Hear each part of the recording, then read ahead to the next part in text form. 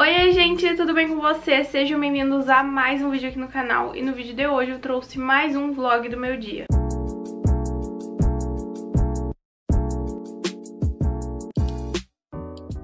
Bom, hoje é quarta-feira, vocês viram aí que eu já tive uma aula, eu acordei super atrasada, nem deu tempo de eu começar esse vídeo antes de ir pra aula. Agora são quase 10h30 e 11 horas começa a minha aula de Química e enquanto isso eu vou fazer um resumo de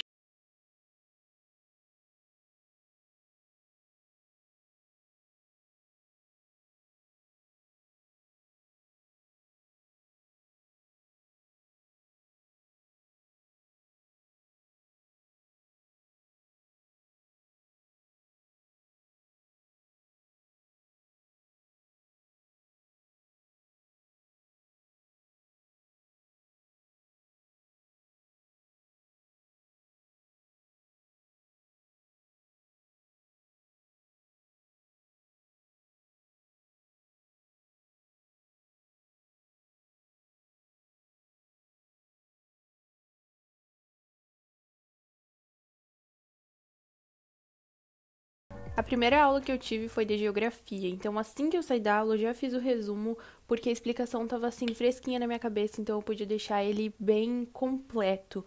E eu gosto muito de fazer isso, mas nem sempre dá tempo, então nem sempre eu consigo fazer. Mas é muito bom porque daí eu consigo organizar os meus pensamentos. É por isso que eu gosto tanto de fazer resumo, porque eu posso colocar ali tudo no papel, organizar certinho para eu compreender assim no geral, sabe?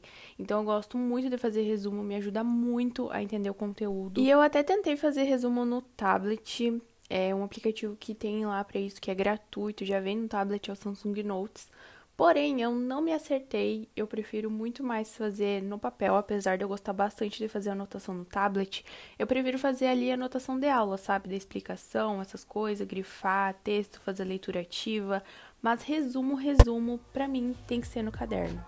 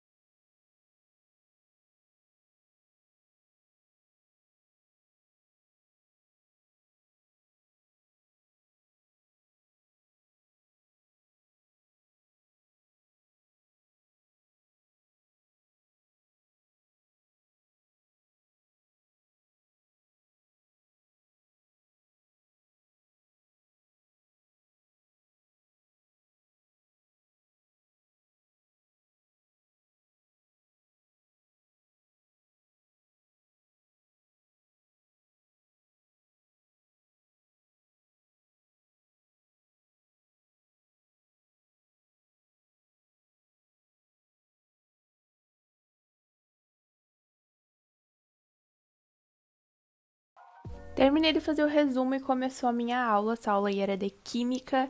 E aí eu fui fazendo anotação ali no tablet, como eu falei pra vocês, enquanto eu assistia a aula. E, gente, esse suporte aí que tá no meu celular, vocês sempre me perguntam da onde que é. Ele é da Amazon, é só tu pesquisar lá, suporte para celular ajustável, que tu vai encontrar.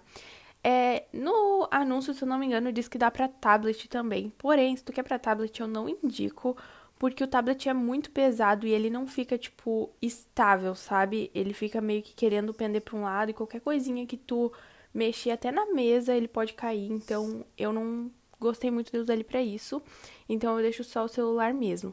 E como a professora tá fazendo a apresentação de slide, para dar para ver melhor sem precisar dar zoom, isso é uma dica muito legal para quem vê aula no Google Meet, nem todo mundo sabe disso, mas sabe quando a professora, por exemplo, tá passando lá no quadro e fica cortando as laterais, vira o celular de lado, que daí vai dar para ver tudo, não vai ficar cortando nada. Terminei o resumo de geografia, ele ficou assim, olha, e também já acabou a aula de química. E agora eu vou revisar a história, eu vou assistir uma videoaula na sala do saber e vou fazer o resumo no caderno Studies Business. Gente, arrisco dizer que esse é o meu caderno favorito de todos os que Studies já lançou. Sério, sou apaixonada pelo business. Esse caderno é maravilhoso. A caderneta também com aquela frase maravilhosa. Sério, gente sem condições. Eu amo esse caderno. E esse é o meu caderno de revisão. Então, todos os conteúdos que eu tô revisando do ano passado, eu tô fazendo todos os resumos aí. E eu também coloquei nele todos os resumos que eu fiz mesmo ano passado das aulas e tal. Então, as revisões eu estou fazendo pela Sala do Saber, que é uma plataforma de estudos online. Ela tem diversos planos, desde o Fundamental 2 até o ensino médio. E para quem está estudando para Enem, vestibular, tem o plano exclusivo MED.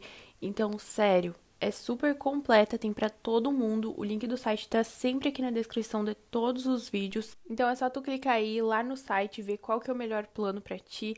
Para quem tá procurando uma plataforma de estudos confiável e realmente boa que vai te ajudar, eu indico muito a Sala do Saber. Mas se tu quer mesmo ter uma segurança antes de fazer esse investimento, tu pode pedir o período de três dias de teste para te testar a plataforma e ver se é isso que tu tá procurando. E aí, se tu vê que é aquilo mesmo que tu quer, tu vai lá e escolhe um plano.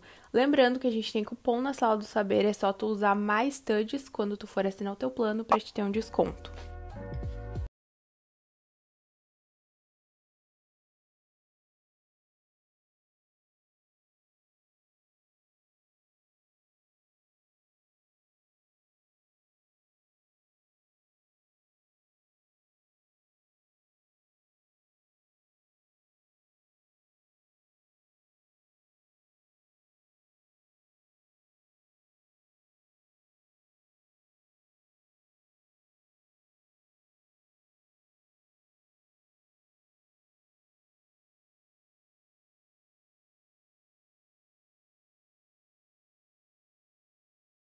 Títulos tão elaborados, porque eu sinceramente perdi minha paciência com isso, porque volta e meia eu errava alguma coisa e eu não queria desperdiçar folha, eu tinha que fazer alguma gambiarra ali, então eu desisti dos títulos elaborados, mas nesse dia eu tava inspirada, então eu fiz aquele título com aquelas letras gordinhas, sabe, que tu meio que contorna em volta do lettering, deixando um espaço, depois completa, e aí eu fiz uma sombra com essa caneta aí, que é aquele marca-texto da Stedler, sabe?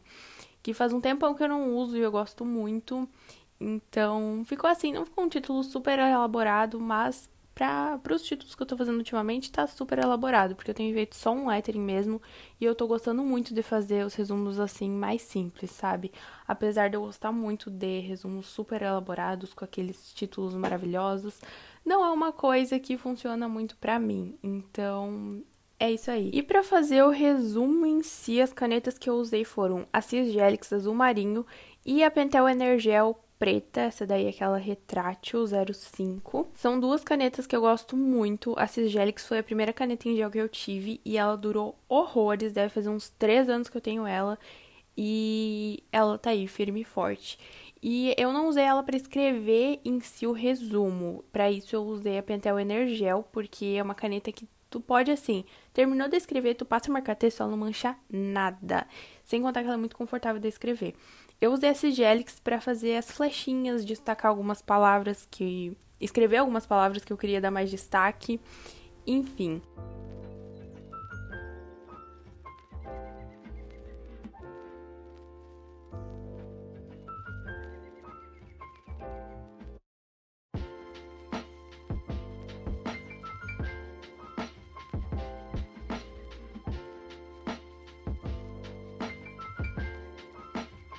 Terminei de assistir a aula, a anotação ficou assim.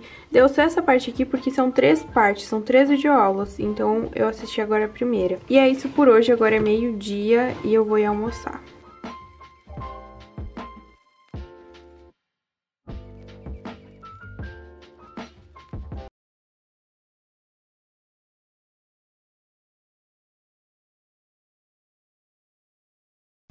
Aí depois que eu almocei, eu fui editar um vídeo, eu edito os meus vídeos pelo celular.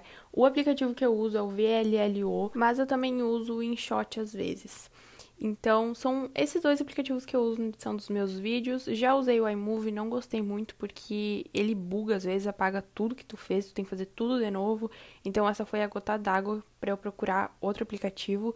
E eu encontrei esse, eu gosto bastante. Ele tem algumas limitações que daí são só pro premium, mas dá tranquilamente para fazer a edição básica. Bom, gente, agora são duas e meia, eu já almocei e já comecei a edição de dois vídeos, tipo, o básico assim, agora só falta narrar. E aí tá acabando a bateria do meu celular, então eu coloquei ele pra carregar. Enquanto isso, eu vou ler, eu tô lendo Percy Jackson, tô no primeiro livro, Ladrão de Raios. E eu comecei ele segunda-feira e eu tô gostando bastante. Gente, eu li umas 30 páginas e caí no sono acordei, era 8 horas, agora já são 8 e meia. E eu vou organizar algumas coisas do meu planejamento e depois eu vou editar o vídeo que eu falei pra vocês, que é o vídeo de sexta-feira, que só falta narrar. Então, o que eu fui fazer do meu planejamento? Eu fui atualizar algumas coisas de finanças, dar uma organizada e planejar o dia seguinte, porque eu sempre faço o meu planejamento do dia na noite anterior, porque daí tem menos chance de ter algum imprevisto e eu posso fazer uma coisa mais específica com todas as tarefas que eu preciso fazer. E eu indico muito que vocês façam isso, porque às vezes quando tu planeja toda semana de uma vez só, vai surgindo imprevistos e aí bagunça todo o resto do planejamento. Então já faz um tempo que eu deixo para planejar o meu dia sempre na noite anterior. E o que, que eu faço quando eu vou planejar a semana? Porque eu planejo a semana no domingo. Já que eu não planejo os dias, eu anoto as metas, os hábitos, essas coisas. E decoro também, porque eu adoro decorar minha semana. Parece que me inspira mais a cumprir as coisas, porque eu fico olhando aquele planejamento bonitinho, sabe? Sei lá, é coisa da minha cabeça, mas me ajuda. Enfim, aí depois eu fiz um ovo frito. Gente, eu amo comer ovo frito com arroz puro assim, sabe? Principalmente quando eu não tô com vontade de comer carne, aí eu faço isso. E é basicamente isso, gente. Esse foi o meu dia. Eu não gravei muita coisa depois ali de meio-dia, porque eu realmente não fiz muita coisa, né? Como vocês viram, eu li, caí no sono e essa foi a minha tarde. Mas aí eu comi, tomei um banho, li um pouco e fui dormir. E esse foi meu dia. Eu espero muito que vocês tenham gostado desse vídeo. Se tu gostou, não esquece de deixar o like aqui embaixo e de se inscrever no canal se tu for novo ou novo por aqui. Muito obrigada quem assistiu esse vídeo até aqui. Até a próxima e tchau!